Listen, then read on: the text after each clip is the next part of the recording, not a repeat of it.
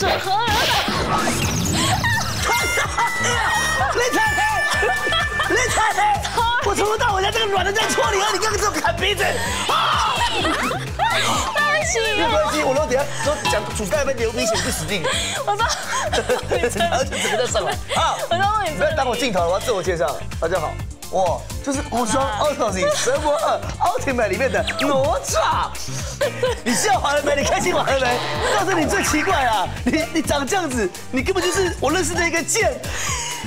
我就是剑魂里面的一个希腊女战士苏菲提亚。嗯，是是是，但是重点是哈，而且我还可以穿越过来跟你参战。对啊，因为我本来想说我们今天没有介绍这个游戏啊，就你 OK，你所以也穿了在这边。没错，算是高手。但是呢，我跟你讲，真正的高手其实不是我们两个。没错，真正的高手呢是在我们幕后。OK，今天要比的游戏就是《恶灵古堡六》。没有错，《恶灵古堡六》大家今天起来疯狂的杀僵尸，好吗？把我们的一些挑战者请出来吧。是的，欢迎我们的挑战者，第一位是我们的铁马。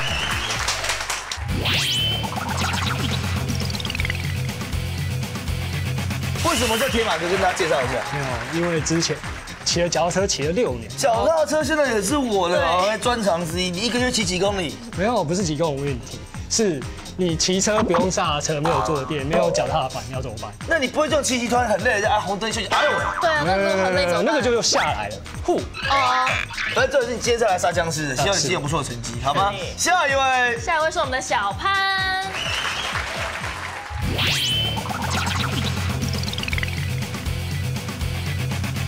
第一次看到长得那么像僵尸的 像僵尸，开玩笑。对，小潘，你的工作是什么？拉面店，做给。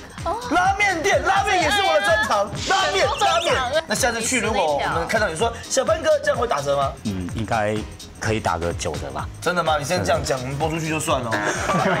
至少比如叉烧多放一片这样。哦，可以，没问题。好不好？小潘哥，大家记好。下一位，下一位是小易。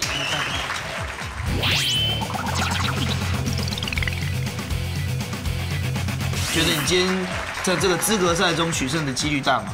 嗯，我没什么把握，有点信心啊，好不好？现在来抢一万块了，好吗？我们今天呢，既然几位参赛者已经在这边了哦，马上欢迎到我们今天的大魔王兼解说员布鲁斯先生。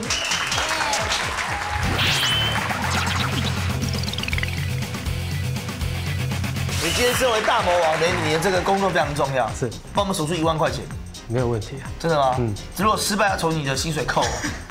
我跟公司讲一下。啊，加油好不好？OK？今天呢其实是个双人组合，不止你知道，还有你的搭档，介绍他一下。欢迎，时间不够。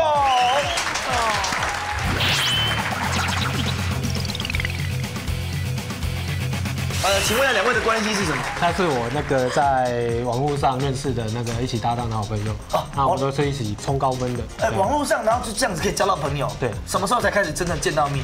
今天今天，第一次没有关系。今天两位是我们帮助我们把关一下哦。是。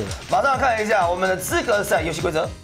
本次的资格战比的是《恶灵古堡六》的佣兵模式，采 solo 方式进行。参赛者比最高 combo 数，combo 数一中断，挑战视同结束。挑战者三取一，combo 数最高者将获得挑战大魔王资格。好了，各位。因为呢，我们打僵尸呢是非常认真的，所以呢，我们帮各位呢准备了一些驱僵尸的一些圣品，好不好？就在前面，来抽一支佛珠，佛珠，这样法力法力无边大佛珠，好，请去拿，把它带在身上。对，天马先生，Are you ready？降妖符，好没气。好了，开始吧。好，胜率其实不太敢说，总之要有一点成绩出来就是了。那铁马现在的方式是比较。呃，算是一般我们刚开始在玩的时候，都会先把时间柱先踢完，才会才会再开争取时间吧。先把时间柱踢完之后，有时间之后再去，最后再去打僵尸这样子。哦，这个是算是比较呃，看对基本的基本的战法啦。啊，这一关维持 combo 一开始很简单啦，大概在接近三十 combo 之后，有狗开始出来扰乱的时候，就会比较容易断掉。所以前目前现在找到五 combo 都还算是很简单，非常基本。非常基本。哦，这是反击，反击是这一次《二零古堡六》很重要的一个要素。对，那动作都好看的，你看，对，非常好看。那重重点是反击，它都会加十秒。哦，是吗？对，因为只要用反击的方式打倒僵尸，它时间就会加十秒。对，所以说我们以我们来说，我们大部分的怪都会以反击来做结束，把它打死。对，啊，像那种一般的体积或枪射死的话是没加秒数的。那有的体积把它射，像这种这种加五秒，加五秒，五秒，因为它不是反击。哦，那这个这二零古堡六它的动作。的要素在这应该说在六代是增加非常非常多。我我其实我觉得我觉得增加了真的很多体积的部分，其实还蛮棒。对，应该是说会觉得比较灵活，爽爽感，对对。而且你看那样体积，我觉得挥下去，爽，真的是爽，真的非常爽。对啊，这也就是二零古堡六好玩的原因之一啊。对对，好，你看还有摔跤技多好。那你哦，你看他现在踢到体力没了。他已经他的他的那个体力格已经没了，这也是二零古堡里面比较重要的一点，就是说你要等他补满。对，他的体力不是无限，然后你要等出来，好不好？开始在扰乱。有些乱哦。嗯。然后已经开始多了，然后康波，然后那个怪已经开始多了。真的？怎么多成这样？哦，这还算少。还有更多的，你们玩这个游戏，我那时候在玩的时候哈，我几乎天天做噩梦。你们没有这种情况吗？不会啊，已经习惯了。我那时候真的就就是梦到自己还在被僵尸这样子缠呢。你们没有？应该是这样说啊。在我是走在路上看到狗都想反击。对啊，这个不行，这个不行，这个不行。对，我们是已经练到，都看到狗就想扁它。要不看到叶子还想抓起来吃吧？这是有可能的。哦，你看又被扑了。哦，我觉得僵尸狗。这一代最讨厌的就是狗，如果你要反击狗的话，非常需要技术的。所以现在铁马它可能反击的经验不是那么够，嗯，所以它它的狗好像没有办法对付，对，它狗都把它射掉，然后狗射掉就一枪就死了。那基本上以我们来说的话，连狗都会抓反击，哇，对，它狗的反击是一瞬间，那有没有？那你这种狗要抓反击，那反应就相当相当，它时间其实非常短，非常短，大概零点几秒的时间而已，对。要连上就应该不是问题。combo 是怎么样会怎么样会的情况会被中断？呃，combo 到 combo 中间间隔是十五秒，十五秒，你只要超过十五秒，combo 就断了。哦，所以你必须在解决一只敌人以后的十五秒之内再解决一再解决一个。对，那他十秒钟的时候，combo 就会闪。他闪的时候剩下五秒，你要去把 combo 接起来，要不然就是 combo 就断掉了。好了，扑过来，扑过来，中了，我就知道。矿工，不是，他不是矿工，他是消防员。消防员，消防员，收了，收了。哇，你要被枪丢，啊，快死了，快死了。铁马注意他的血量，断了，断了，断了吗？好，四十五康宝，好，谢谢铁马。OK，四十五，我们看后面成绩，好不好？好，接下来第二位小潘，抽一个降师招财符，来，把这符贴在你觉得想要贴的地方。嗯，很好。哇，你这样看起来更像僵尸嘞！小潘，有，Are you ready？OK，对对对，来呛起来，呛起来，呛呛呛！再给一个机会，小潘，Are you ready？拿着这张符，绝对会断 combo。你在诅咒自己吗？你可不可以强一点啊嘞？我心情还蛮紧张的，因为毕竟《二零不保六》这块游戏。刚出来的时候还蛮轰动的，对于社会来讲就是快乐就好。呃，如果说要打高分，这一关建议就是用克里斯原版的克里斯。那他是因为用反击专用的角色的话，他是可以任何反击的方式都可以全吃哦，那就不会说有反击不会死的情况发生这样子。我觉得这个基本上他们前面跑的这路线好像都是一样，哎，没是踢空了吗？踢空的，对对对，这个他不是故意的，不是为了搞笑，不是为了搞笑，完全就是踢空。对，所以说基本上像我们在玩第一关的时候，应该都是会选用克里斯来作为克里斯。对，克里斯原版的克里斯是火力强，然后反击能力又强大的一个角色。如果要打高分的方式的话，我们是怪一出来就开始打了。哦，会这样会更快。对，快开始开始打，然后我会分，我们会去分配路线，就是说哪一只怪到哪个时间柱的时候，我就可以顺便踢掉那一颗时间。哦，哇，对，玩的这么细啊！这个是非常细的。二零古堡其实。呃，如果说以游戏时间来说，玩一两百个小时都还算是初学者啊。对，那我们不就在游戏里面像小白兔一样？哎，是这样说没错。二零古堡是有所谓的排名，对，都是所谓排名。那每张地图大概大概有接近十万个玩家在玩。哦，那十万个玩家，那我们就去征求那个，比如说第一名，甚至是哦前几名这样。您目前的排行记录是多少？呃，我目前有一张地图，目前是世界第二名。对，那第一名是哪个国家的？第一名是。还是一个台湾人跟一个日本人哦，那可以。那么啊，被抓被抓了哦。哦，其实大家看得出来，就是说现在杰克他小班他用的方式是用提速，对。我下去做发挥的，就是尽量用提速他那只下去打。左轮真的蛮好用的。对，那只左轮基本上他刚才用的是快速射击，快速射击是不用用不瞄准。不瞄准，他只要用 L R L one 啊 R one 跟 L one 同时按下去。这个也算是要有好的技术才能做这个事情。呃，不用不用不用不不用，只要稍微两个按下去，他就会针对最近的一个敌人去做一个快速射击的效果，就不用瞄准了。因为以前这也是二零古堡六多出来的一个要素之一，就是说我不用瞄准，对我还我要打敌人的时候，我要先瞄准对体系很这个多。杰克的体系是很多的，对，那那下被狗来狗来被狗围了哦这讨厌，嗯嗯，狗你看它会乱跑，啊又因为它体积小又很难瞄准，狗真的很讨对，厌。非常讨厌。对，哦，看来小潘是有机会超越那个铁马的哦，跟他这样的一个 combo。目前三十八，对，目前三十八。铁马你危险，铁马。哦哦哦哦！啊，他用大规模的，哎呦，差一点点，差一点点，哇！你的炸弹也四十二了，四十二，四十二了。哎，那手把你在干嘛？嗯，他可能手把有点问题。哎，快快拼我啊！中了，中了，中了。不错啊，哎，我打还可以吃药。我打死了。我们很爱嗑药的小女孩。哎呀，当榴弹拿出来，厉害厉害活力，你看活力全部都是，他收了非常有经验。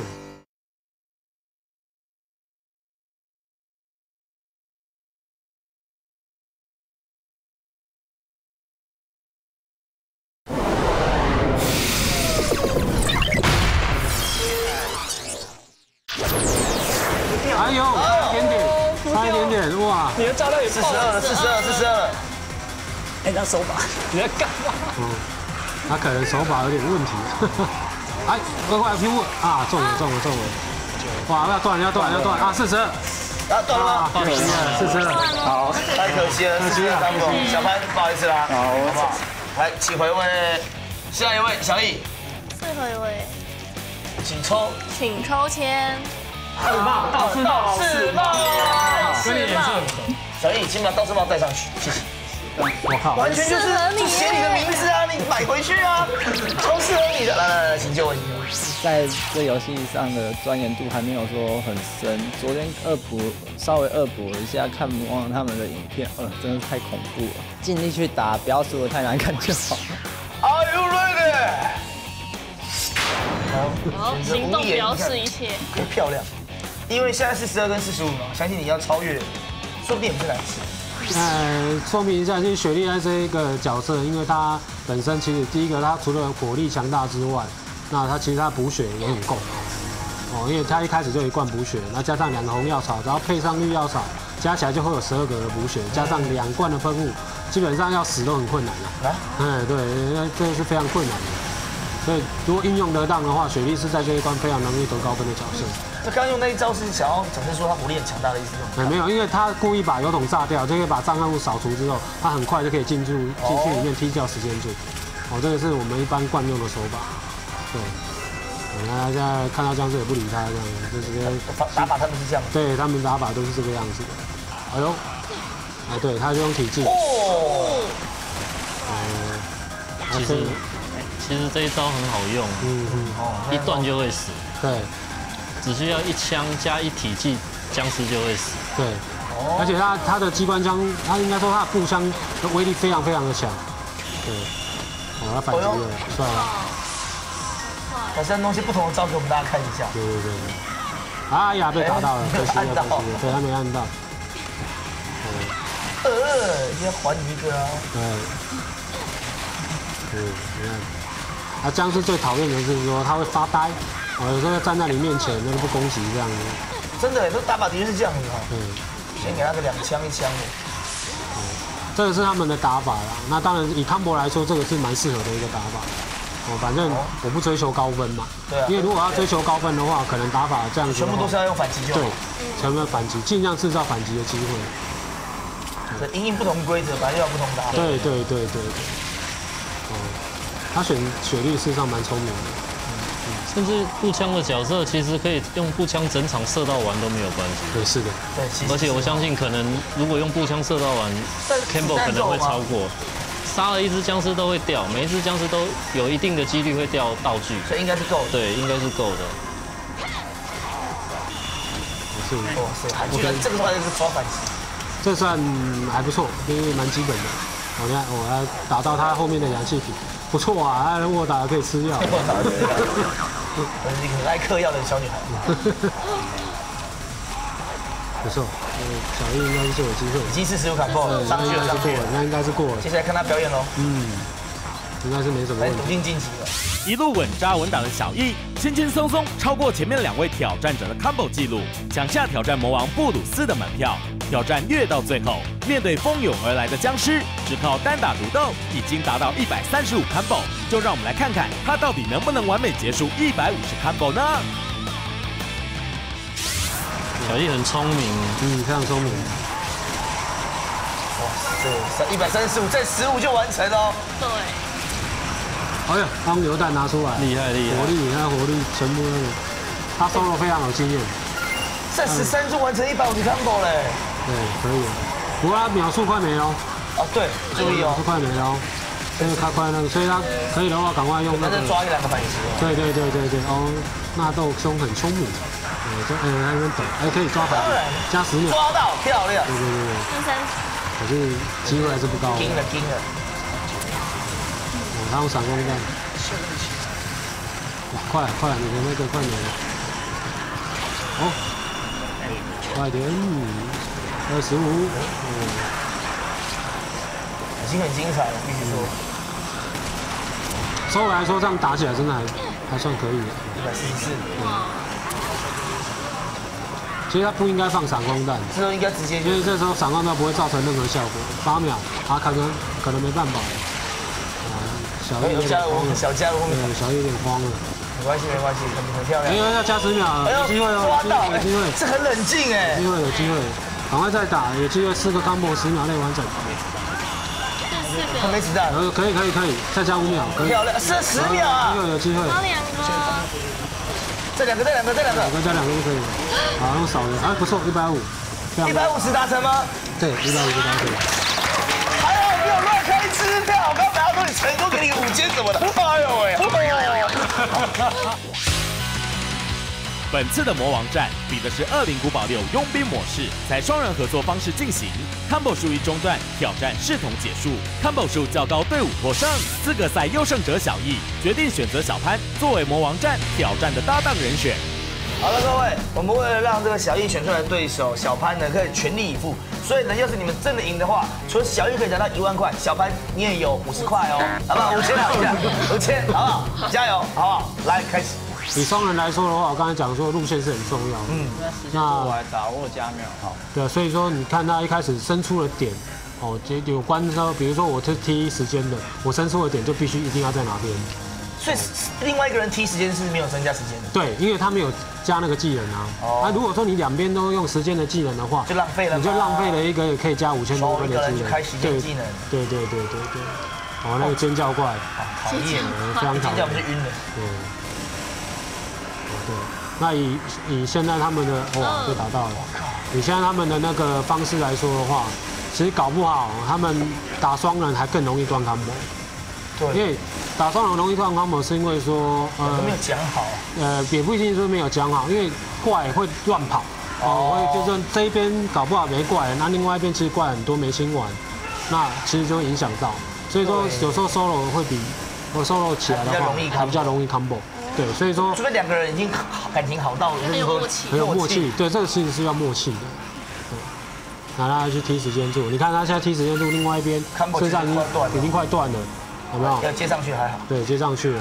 哦，那两个人好处就是说 combo 很容易救，对，嗯，很容易救。你那边没，我这边我这边补一支，康博又上去了。对，那小易虽然是选这个角色，不过他用的方式，对，应该是要换这支短枪，他用撞的，对，用撞的比较容易死掉。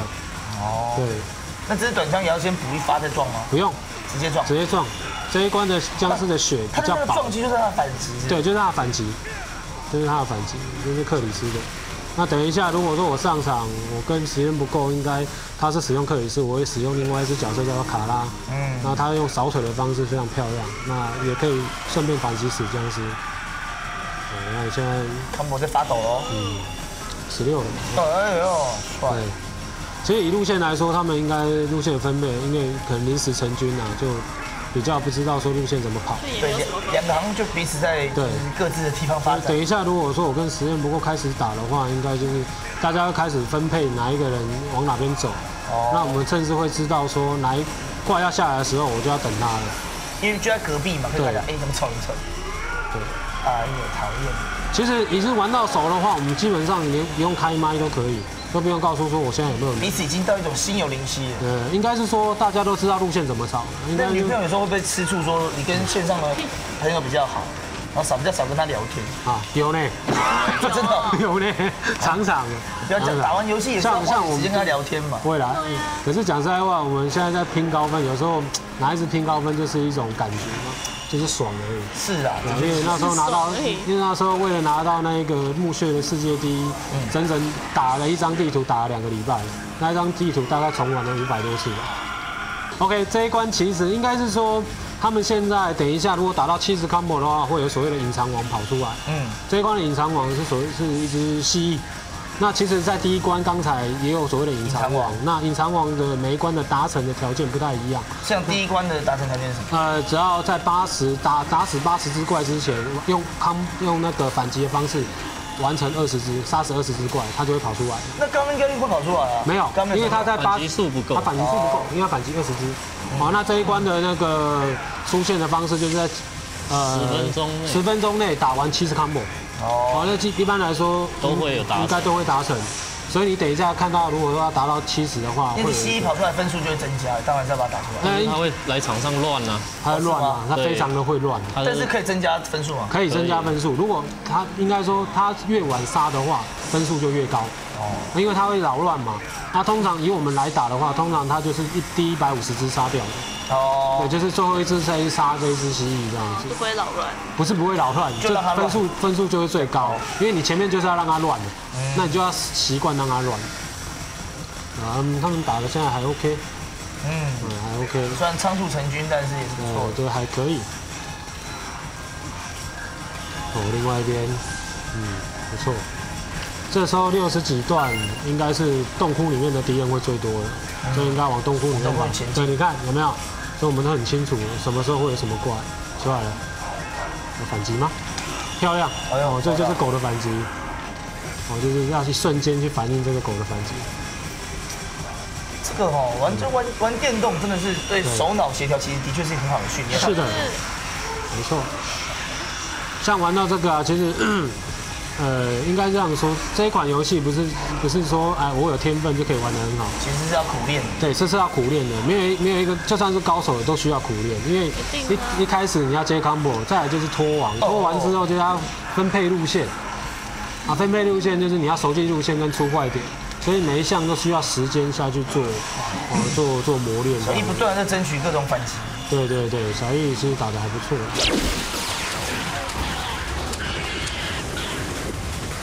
来，我去救他了！啊啊！魔王！不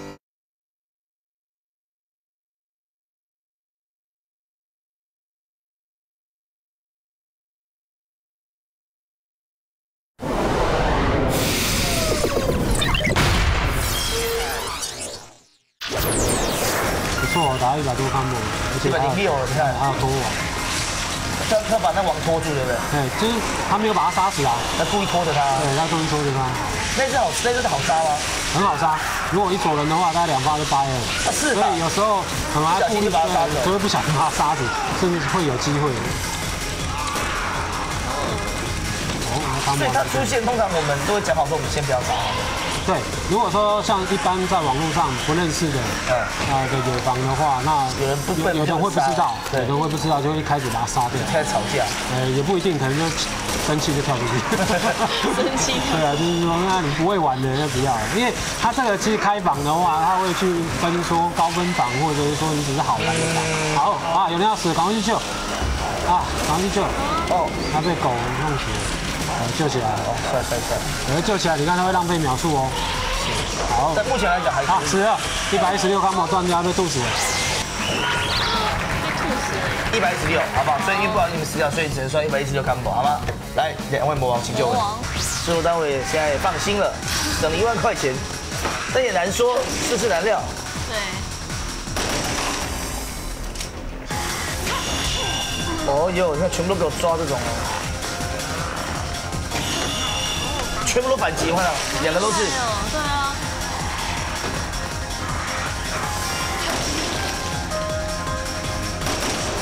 而且你看到他们没有人急着去踢时间柱哦，他们就是安排好路线，对不对？我这样说没有错。是的。但是完全知道怪在哪。他完全是怪在最后，我这边等他，抓好反击。你看他们到现在还没有去踢时间柱，他们知道说时间柱，反正等下路线规划到登就去打。对。边打边。这整个晚上你都要盯着他的屁股看。我把他致命带怎么样？我蛮好奇的。哎呦！哦，乖，让装子弹的。对呀，就完全知道他第几秒会有什么。还有狗的，看他抓狗的，你看很漂亮，抓到狗了。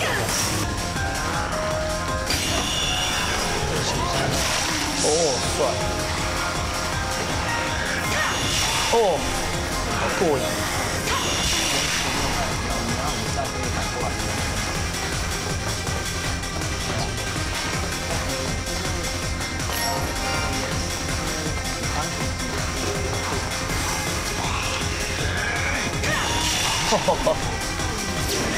好利落，不啰嗦的动作。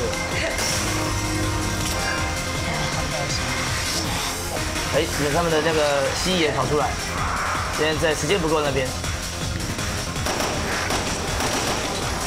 一直要被 那只蜥蜴乱。哎呦！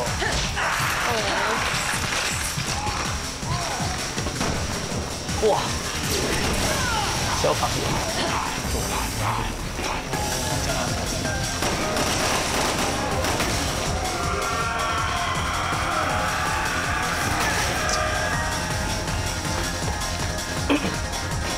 现在到了八十四。哎，那不是炸弹吗？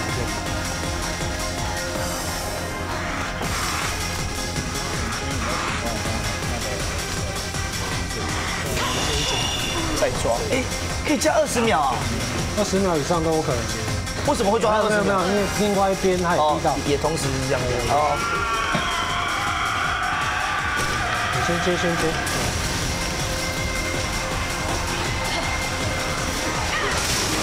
哦。连着一起踢，连连连僵尸连时间一起踢。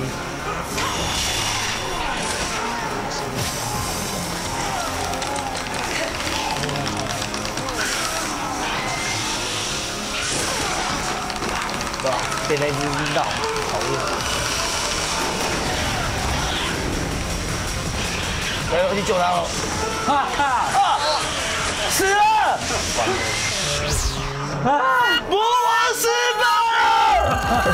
哦，原死了！魔王没有，居然没有破百，然后被那个蜥蜴刺到，然后过去咬他一口，把他咬死了。不好意思啦，所以呢，这个。人生就是这样，好不好？我们刚刚以为这一万块钱守得非常的轻松，小潘以及小易拿到了，我是高手，来把你们名字贴上去。恭喜！小胖拿到五千块钱，小易拿到一万块钱，恭喜你们，谢谢，也谢谢魔王姐姐，已经表现得非常精彩啦，谢谢谢谢。没有帮制作单位守住这一万五，实在是我的不对。布鲁斯看我被抓了两次，怕 combo 断掉，所以赶快救，但是因为我离太近了，结果连我一起炸到。在这种状态断掉，真的是还蛮、还蛮不幸的一件事情。只能说运气不在我们这边。不过我觉得也是恭喜他们，然后他们有一定的程度哦，才有办法打成那个样子。所以，呃，无论怎样，谢谢恭喜。一年一度的东京电玩展在上周于日本海滨木章展览馆盛大展出。来自世界各国共计三百四十二家游戏厂商，参展商数目是历年之冠，场地规模也是历年之最。展期四天下来，总计吸引超过二十七万人共襄盛举。今年 TGS 以游戏持续进化为题，两大游戏厂商微软、索尼电脑娱乐皆推出新一代次世主机，并设立未上市星座试玩体验区，让玩家们亲身感受进化是什么样的感觉。随着行动装置的普及，这次 TGS 也展示了许多行动游戏与周边，其中台湾游戏厂商也拿出招牌游戏，以实际行动让国际看见台湾。着实有种泪流满面的感觉啊！今年展场最大规模的索尼娱乐，除了展示新一代 PS4 家用主机以及新型 PS Vita 两千之外，也设置了日前才刚发布的游戏机上和 PS Vita TV 体验区，让玩家体验 PS Vita TV 最大的特色：透过电视轻松欣赏各种内容，也可以把 PS Vita 游戏画面输出到电视大荧幕来游玩。PS Vita TV 将提供六十款游戏作品，除了 PS Vita 游戏，还包括 PSP 游戏以及 PS 一代的经典游戏，同时也支援了自家 PS4 的摇杆无线操控，让玩家感受到有如像游玩 PS4 般的感觉。您瞧瞧，透过大荧幕玩游戏，是不是非常过瘾呢？另外，展场也设置了即将发行的 PS4 及 PS3 的游戏体验区。还有这个透过全新的 PS4i 搭配新型 PS4 手把，可以与游戏中的人物与场景进行互动。你看这位大叔都害羞的捂起嘴了。再来不得不提到这次 PS 展区的重要游戏，就是这一款 PS4 首发游戏《Neck》。在 PS4 摊位上摆放了这尊相当瞩目的全身几何图形组成的机器人，这就是主角纳克。不要小看这些零件哦，在游戏中，我们必须搜集这些名为雷利克的零件，将纳克的身体从零点七公尺进化到十公尺，进而抵抗入侵的哥布林大军。嗯，这还有点晋级纳克的味道呢。哇哦，这面墙不就是历代人中之龙的主角群吗？Sega 游戏公司几乎每年在 TGS 都有人中之龙系列新作的消息，当然今年也不例外。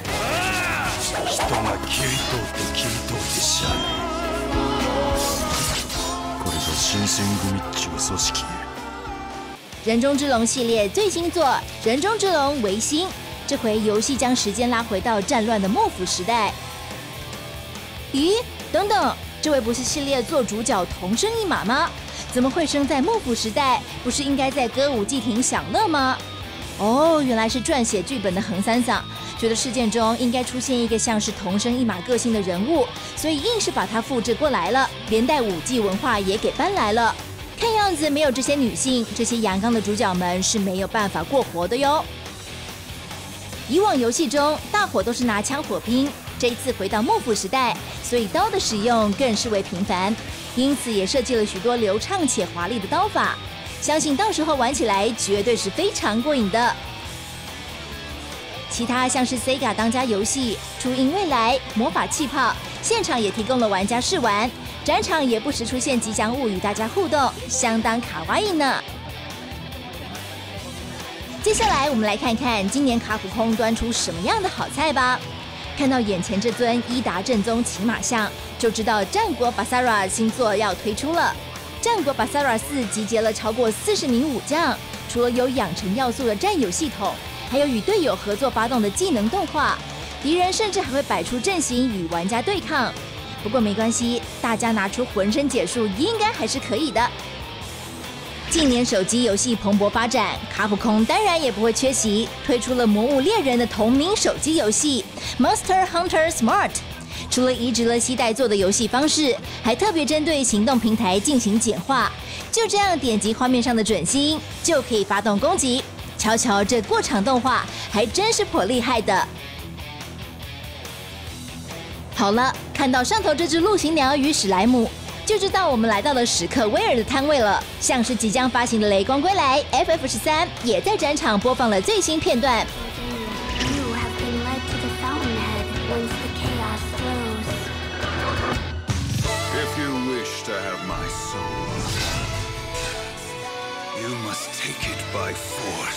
瞧瞧我们当家花旦雷光，这挥刀斩击的动作是不是相当帅气呢？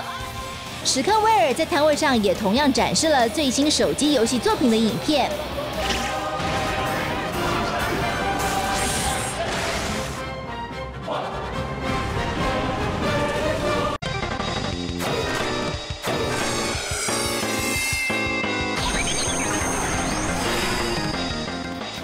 大家一定觉得很奇怪，怎么没有 Xbox One 的相关介绍了呢？大家别急，因为 Hold You 顶 On Day，我们规划了系列内容，准备一一为大家深入报道。首先就来告诉大家 Xbox One 手把有什么厉害之处吧。游戏公司特地在摊位设置了手把体验区，透过开发机的体验系统，我们可以感受到按钮的回馈。最特别的是，这次 Xbox One 的震动是根据不同场景来搭配效果。向现场开放了五种供玩家体验，里面有扑通扑通的心跳声，还有汽车引擎发动的声音，直升机起飞的震撼感。还有机关枪连射的后坐力，都可以让玩家充分体验到 Xbox 针对震动特性的细腻之处。瞧瞧这位大哥，认真体验着 Xbox One 带来的全新冲击。观众朋友们，你是不是也想感受一下呢？待会我们还有更多关于 Xbox One 的详细介绍，千万别转台哟！电玩快打特派员东京采访报道。下段电玩快打，暗黑破坏神三，恶魔再现，末日降临。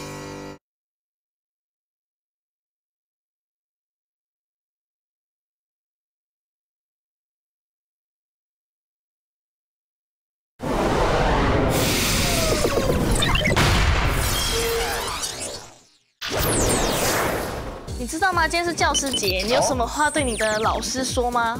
老师，你把以前没收的电动都还我好不好？哦，你真的很没有礼貌哎！大家都是要说些感谢的话啊，而且就算还你，你也不会玩，好不好？现在有戏是出新的，你就是把它丢在那边了。对，你讲的真是完全正确。You got me，，我就是个喜新厌旧的人。对，因为我的 focus 呢，都放在我们的焦点的一些新游戏上面，好不好？马上来看看本周的 哈烧新 game。集结众多三国与战国武将以及历史剧本的科幻大作《无双 Origin 二》，在历经了 Special 与 Hyper 版后，这次要再推出加料救急进化的最终版本《无双 Origin 二 Ultimate》，大家又能再战邪恶的蛇妖啦！玩过二代的玩家都知道，这次的剧情是接续在八岐大蛇元吕志在一代结尾被众武将消灭后。平静的日子又因巨大蛇妖的复苏，再度陷入了一片混沌。这次标榜着游玩角色高达一百四十人，可是无双全系列中史上最豪华的浩大阵容。那么这边就来介绍一下在本作中新登场的特殊合作角色吧。继无印版中的龙准客串之后，就连 DOA 的侠也来友情站台。只能说同一家游戏公司在彼此的棚互相乱入。是最近越来越常见了。不同于先前的机械改造人姿态，这次再度登场的哪吒都是采肉身的样貌登场。上述大多为来自东方的角色。接着，这位手持西洋剑盾、来自剑魂系列的苏菲提亚，就让大家跌破眼镜啦。怎么样，来个中西合璧，换个口味好像也不错哎。无双类型最讲究的就是绝招，这次透过多人合体来施展全新华丽的真无双 Burst，再加上角色新动作与多变玩法的新模式，绝对是本次无双 Origin 二 Ultimate 令玩家注目的新卖点。因为这次是 PS 三与 PS Vita 双平台版本同时发售，所以游戏也支援了 Crossplay，让大家可以使用不对称平台来杀敌放无双。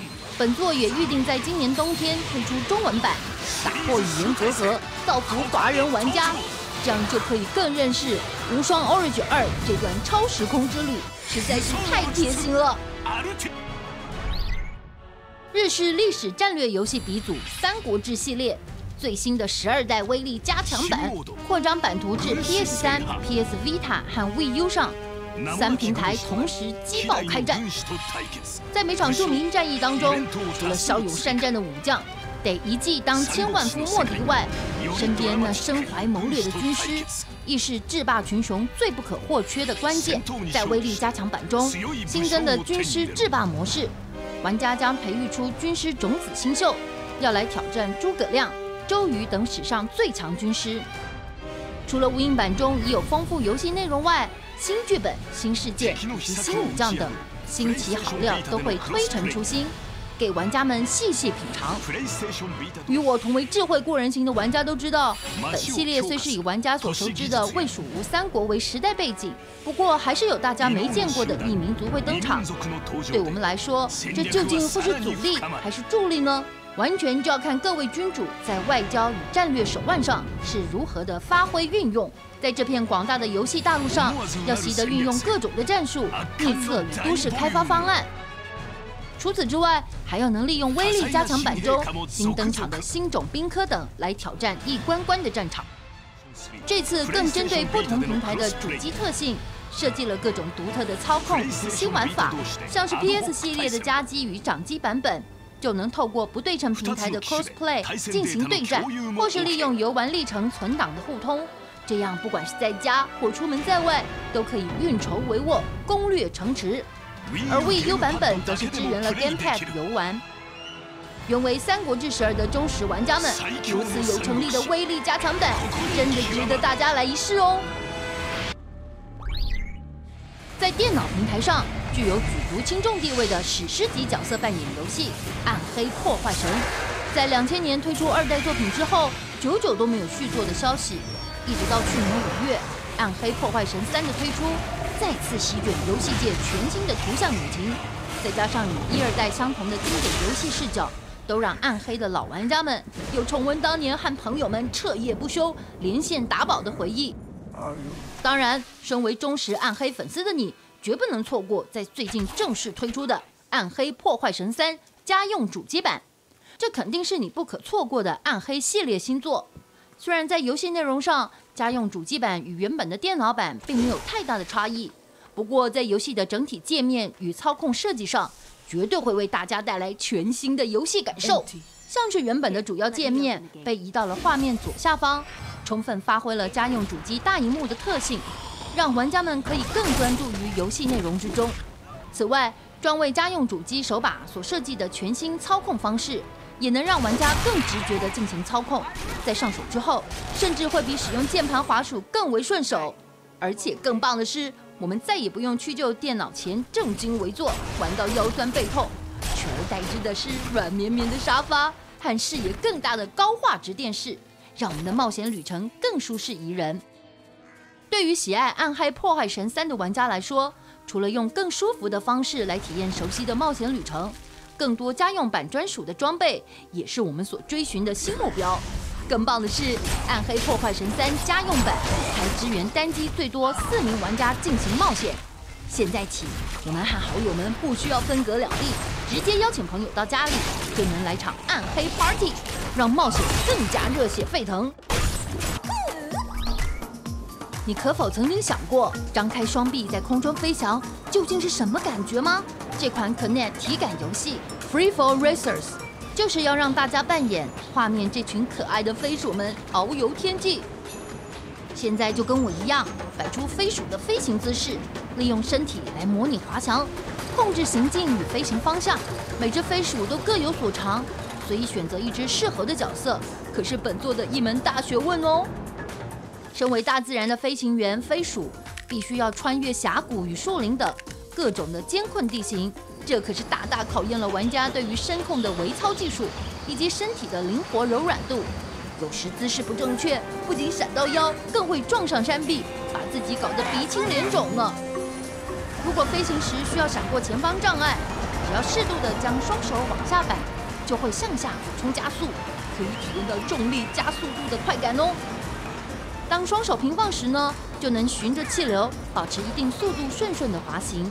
若是你在竞赛过程中捡到了护盾、飞弹、旋风或是捕虫网等妨碍或辅助道具，那么就可以抬起腿来发动，有效的干扰对手行动与防护，可以让我们的成绩更出色哦。如果对操作还是不太熟悉，还可以试试看时间竞赛模式。没有其他对手的竞赛压力，是个好好练习的机会。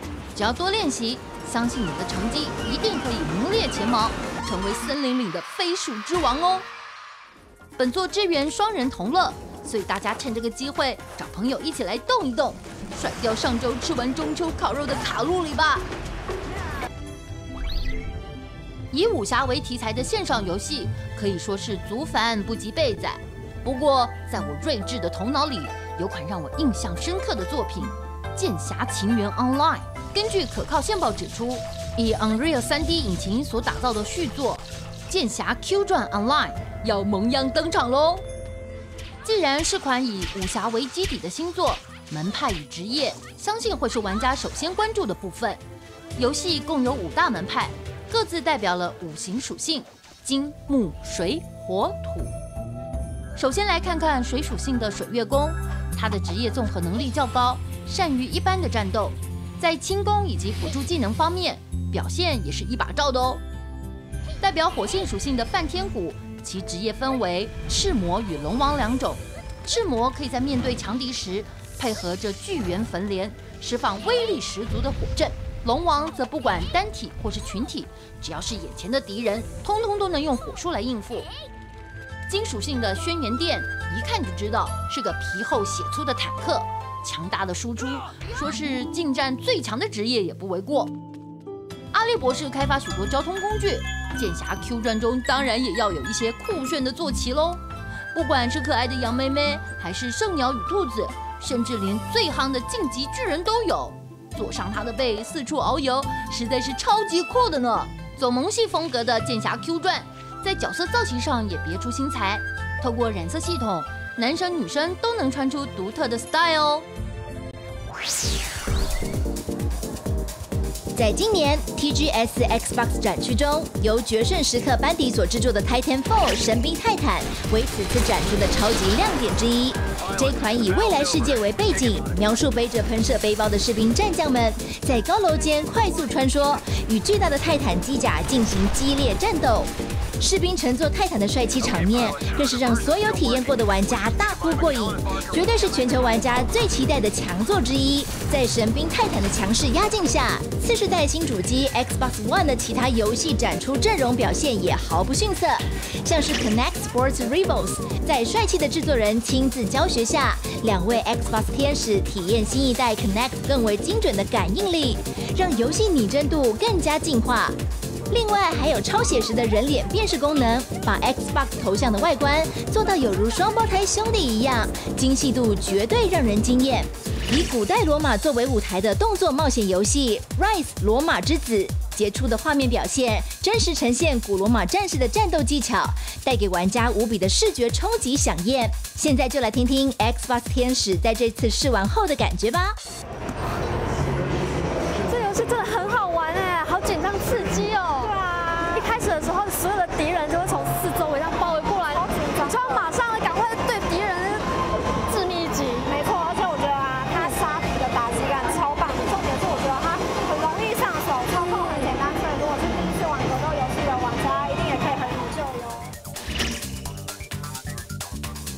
Xbox 竞速看家大作《Forza Five》，这一次让玩家体验价值三十万美元的超跑。栩栩如生的碳纤维结构车身，以及赛道上光晕的高水准表现，大大的满足了喜欢飙速快感的玩家们。独占 Xbox 平台以飞行为主题的射击游戏《绯红飞龙》，玩家将扮演飞龙骑士，在地图上尽情的滚动战斗，拯救即将濒临种族灭绝的人类。试玩中展出飞龙的外观与敏捷的行动表现。除了 Xbox One 坚强的游戏阵容之外，今年三六零新游戏的展出可说是多到满出来。更多有关三六零的精彩游戏内容，请锁定电玩快打后续的介绍哦。电玩快打特派员东京采访报道。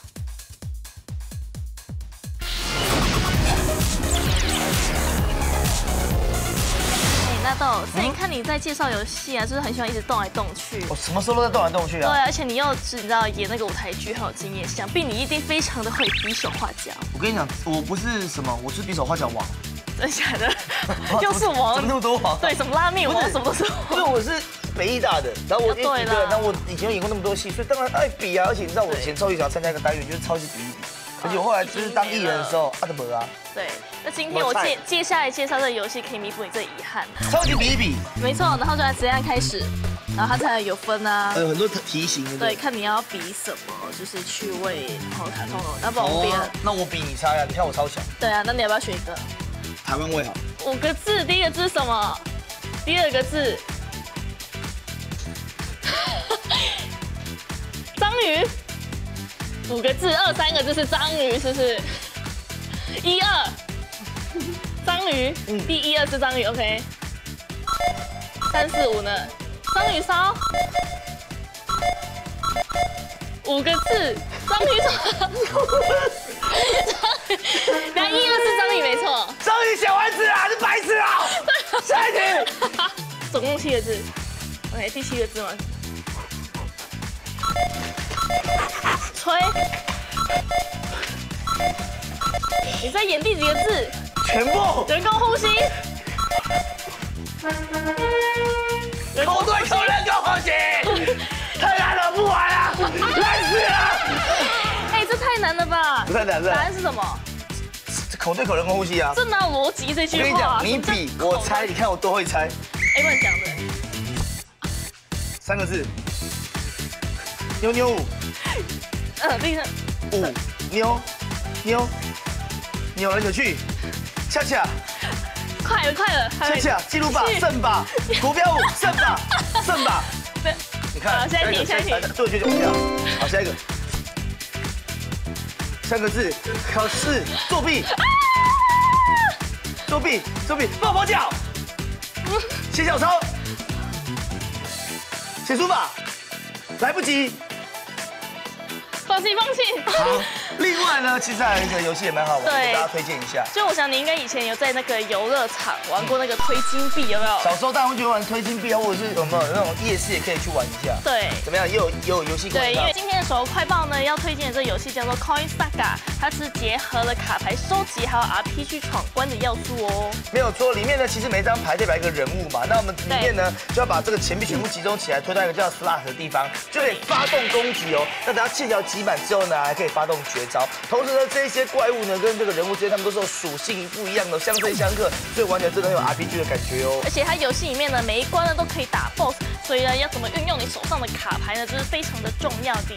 而且里面很特别的是，呢，它还有拉霸哦，所以可以拉出辅助道具或者是障碍。没有错，更详细的介绍，马上来看一下本周的手游快报。相信大家小时候应该都有玩过推金币。甚至有人爱玩的，每天便当钱都拿去推了，常常都饿着肚子回家。以我的智商来看，推金币没什么难的。但现在要介绍的这款 Coin Saga，外表看似简单，里面可大有来头哦。结合了卡牌与角色扮演要素，玩起来就更需要动脑筋了。游戏以任务通关方式进行，在推金币的过程中会不定时出现怪物，而每一关最后都有 BOSS 把关。这时候我们就得依照敌人属性，发动风、火、水、地、光、暗六大属性技能相应抗衡。好啦，就让你吃吃我这一招，保证一点也不输给我的黄金右脚。还有一个有趣的地方，画面上方的拉霸机会随机掉落各种道具金币，像是刀可以增加角色攻击，盾当然就是提升防御力喽。另外也有提升各种属性技能的金币。玩家想要哪个效果，就把该道具金币推到下方的 slot 即可。糟糕的是，不时会出现这种进行时间倒数的定时炸弹金币，如果没有在时间内把它推落，就会遭受攻击。天哪！话说我最害怕定时炸弹了，怎么玩个游戏也会遇到啊？木木警官，快帮我弄走它！此外，点选下方的宝箱，就可以用友情点数随机获得一张卡牌，添加一位生力军。还能够将卡牌强化或是进化，进一步提升各种能力值。目前游戏还在加紧中文化中，相信不久的将来就能玩到喽。R.O. 瓦尔基里之乱全新副本卡鲁利姆森，下段电玩快打作战攻略不可不看。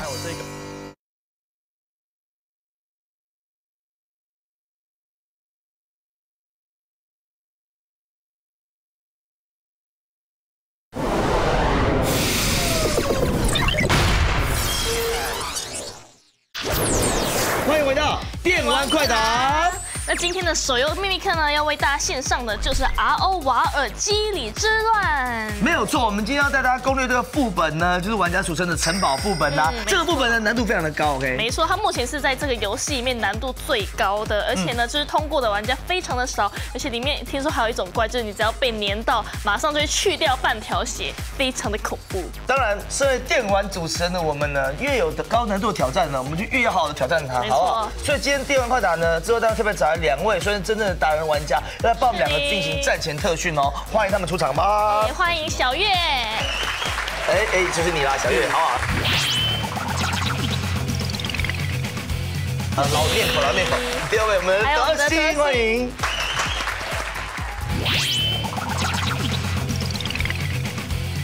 好的，我们马上呢就是来攻略这个圣殿庇护所，是不是？对。小月，帮我们说明一下这一个这张地图。地图是。那这边第一张地图就是卡鲁利姆森副本的呃圣殿庇护所。今天的我是骑士，是骑士。对，那两位是巫师，我们两个是巫师。对，然后德心是祭司。好，帮我们写。好，第一张地图我们都会出现在这边，就是入口入口的地方。好，那其实如果要进入第二张地图的话，那关键的 BOSS 是在这个红色骷髅头。对对，那这个骷髅头第一层的 BOSS 是叫幽灵剑士。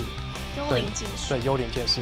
那等一下我们要行进到这一边的路线，不是直接这样过去，而是说要沿着墙边这样，比如说沿着墙边这样子过去。为什么不能？对啊，我这样直接杀过去不行？因为大部因为有一些怪物它会在这边埋伏，那我们要所以很危险。我们要快速攻略的话，我们要直接从旁边这样这样。对，没错，就比较安全。对，就是要避免跟他们就是打照面。哦，正面冲突不要干嘛？然后。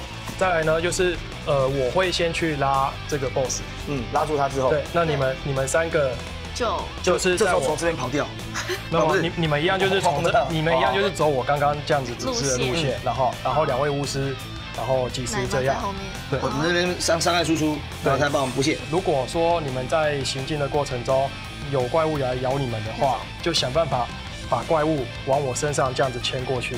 哦，就是我们就往你冲就对了。对对对。那怪物反正你反正你仇恨值比较高，它就打你。对，那个怪物它在就是你们像这样子经过过去之后，那怪物就会转向被你吸住。对，那你们就是在这边放陨石术跟暴风雪。这个有一段影片，对不对？对，我们来看一下。那现在的话，就是我们到了副本的呃第一个地方，然后我们会沿着地图靠右边对进行。对，那因为这层怪的怪物，他们的血量跟攻击都比较低，所以呃玩家是比较可以轻松的去做攻略的。对，那很快的话，我们就会看到这个头目，那就是第一层的关键的呃头目幽灵骑士。哦，哎，那么这在其实没有离很远。对，对。是紫色那个。对，那因为我们的装备都比较强一点，所以我们这一层可以轻松的攻略掉它。第二张地图，饰演的大饰演大厅。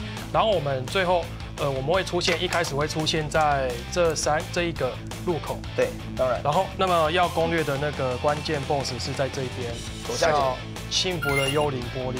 幸福的幽灵玻璃是可爱的一只吗？呃，其实对，其实但是它其实它的伤害输出一点都不可爱，好吧，讨厌它。好，那基本上那要过去的方式也是跟刚刚一样，沿着墙缘，沿着墙缘，然后骑士吸住，我去吸住他。那你们两位巫师两到三个的位置，对，伤害输出，补血。对，那这边就是要注意一下，这个幽灵玻璃它会放暴风雪。哦它放后怎么办？那基本上因为那个暴风雪它算是范围技能，所以你们就是不要站太靠近我们两个。所以这次可以离远一点点。对，就是稍微离远一点点。然后你们就是对它使用火箭术。火箭术。对，就是用单体攻击的技能。好。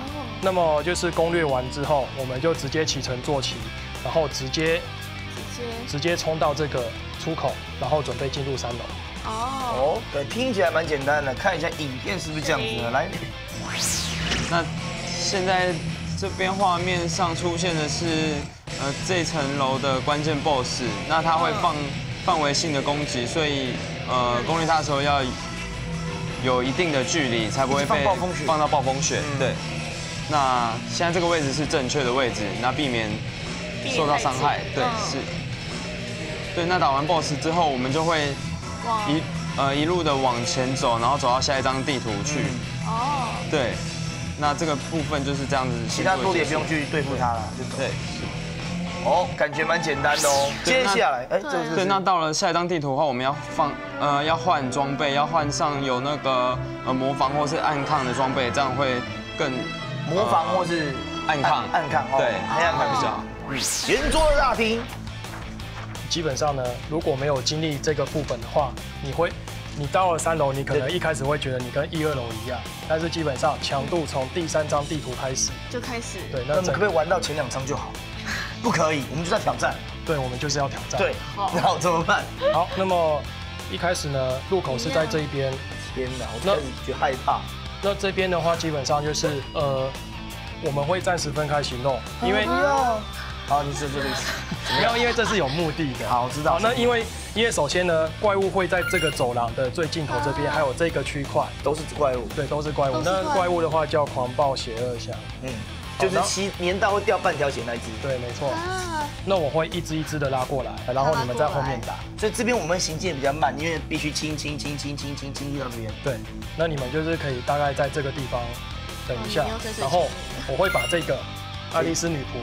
是不是这一关有双双 boss 是？没有，就是呃关键的 boss 是这个。嗯嗯。那另外这边的话，它是头目的那狂暴邪恶侠，但是我们不是要打这个。嗯我会想办法把这个吸出来。对，我会想办法把它吸出来，然后你们就在后面打。那你万一被人吸到另外一只，那我们就照不了你了。那我会尽量想办法把多余的拖走。好，我就把这只吸出来。对，把它干掉之后，然后干掉之后一样就是起程坐骑，直接往下一个楼层。我们来看一下这一段的 VC 啊。我们就是开始打那个邪恶的宝箱怪，那这部分的话也是靠骑士，然后沿着墙壁走，然后拉怪这样子。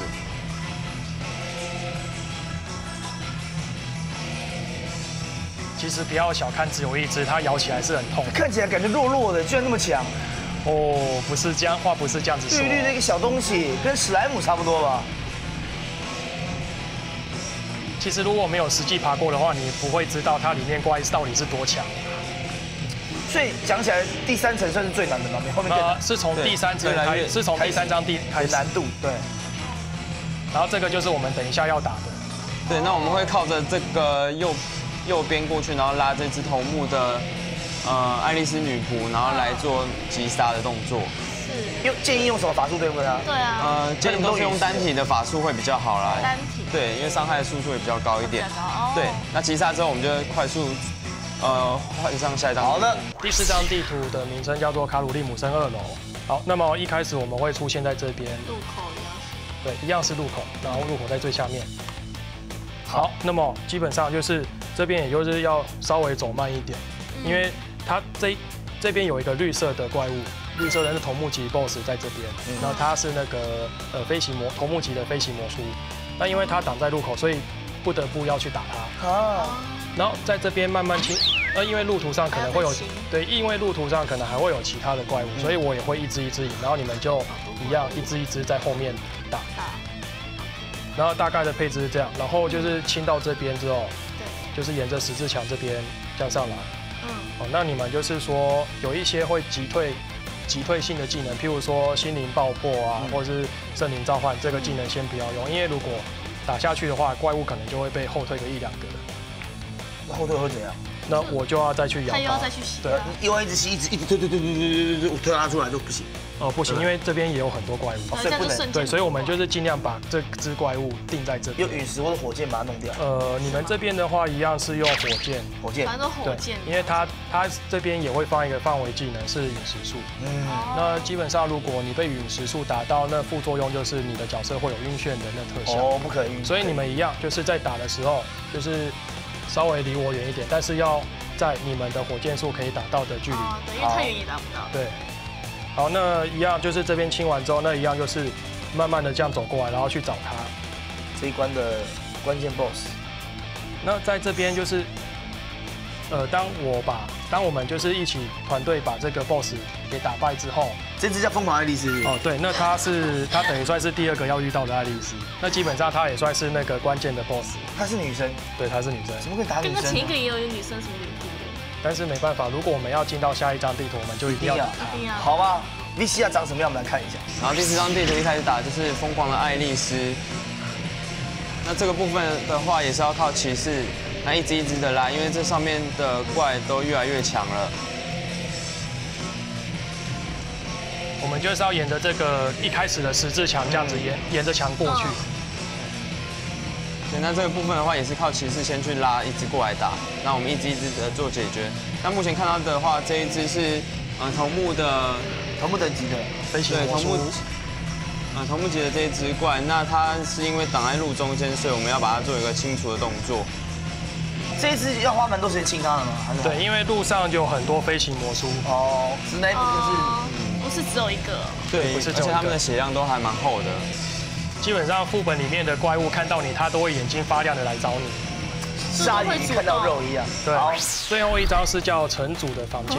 看起来好恐怖。哦，这么多骷髅头，可以不然后因？为它这边是最后一，因为它这边是最后一层的，嗯，所以我们的目标其实就是很明显的，就是这个城主，对，最大的那个骷髅头，那它是 MVP，哦，叫做深渊骑士，这个是一个示意图，意思就是说在深渊骑士的附近有很多卡利斯格在驻守，嗯，那其中这两个红色的，它是头目级的卡利斯格，这已经有头目级的两个。对，但是其实因为到最后一关，所以我们真正的目标是这个深渊骑士。对，所以这边会这边的做法呢，好，一样无一样在这边，我们就是入口一开始的地方，然后我会一个一个拉上来，你们这就在后面好，我们就先定在这个位置，你一个一个把它吸上来，然后我们轰死它，吸上来轰，对来。，就是像它这边的布阵，如果造成一个缺口的话，我就会把这深渊骑士再拉上来。那你拉到它，不会拉到他们其他人。对啊我会尽量不会拉到其他的。这是要看你的技术。对，哎，城堡部分很少人推推成功，对不对？对其实很多人都还没有办法。我们今天就要做给你们看。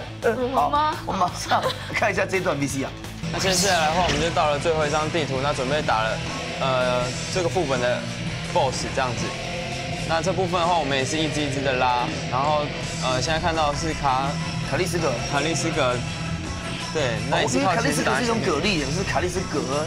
嗯，所以以为是一个很大的哎，就这样被拉上来嘞。对，那像这样子就是一只一只你拉到两只了，你拉到这个部分可能走位没有走好，这样。对他拉到紫色那一只对，啊那是头目级的。对，有可能会造成灭团这样子。啊，这几乎都用火箭术啊。对，因为遇到单体的话就是用火箭。MVP 来喽。对，那这个部分的话，我们要用一格一格的方式来呃做移动，这样避免说又拉到其他的呃怪物这样。那这次在 BOSS 前面真的蛮重要。对，那这次 BOSS 的话血量蛮厚，所以攻击的时候要记得多带一点补血的呃补品。对。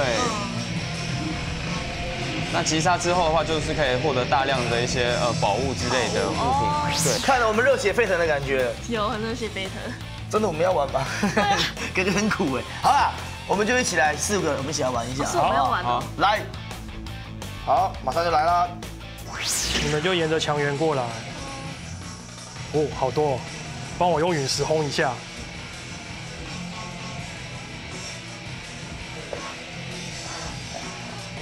好，然后就是放陨石树，帮我轰一下。好，正在放。然后纳豆过去站在祭司跟彩提的旁边。我觉得放大范围就好了。对，第一层第一张跟第二张还可以放大范围。会不会就要专门打？嗯，应该都清掉了。哎，来了，打字的。好，那你们就可以在后面轰。哦，那边，呃，站后面一点。然后彩提站后面一点。好，站后面一点，这样。然后就是对他放火箭术，或是冰箭，或是陨石暴风。有，我不断的用冰箭跟火箭在射他。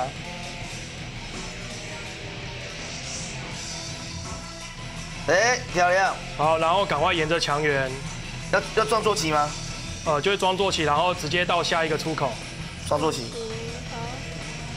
好走。那为什么停在这？然后跟着我走。好，跟着他走。怎么这么多？自己要打吗？呃，看看样子应该是要打一下，就当做是一个练习的机会。好，那个不要往下，不要往下。我停的时候就大家都不要走。哦天哪，我被吸住了，完了完了完了。然后技师赶快起来，起来了，然后补我。好。然后彩提二号下来一点，站在祭司跟纳豆的旁边。然后你们不要再下来了，不要黏住我。好。我站这过来帮你边可以吗放回去？然后去拉过来。哦，紫色那一只，对，紫色那一只。好吧，开始轰了。然后点它之后直接放火箭。你直接放火箭就好，就不用不用放放。哎呦，我被我都被打了。为什么他血这么厚？我没有在掉啊。好了，各位，由于呢时间的关系，我们继续跟我们头目战斗。我们节目就到这边了，大家下礼拜见喽，拜拜。我们继续拼，我们继续拼，我们继续拼。对。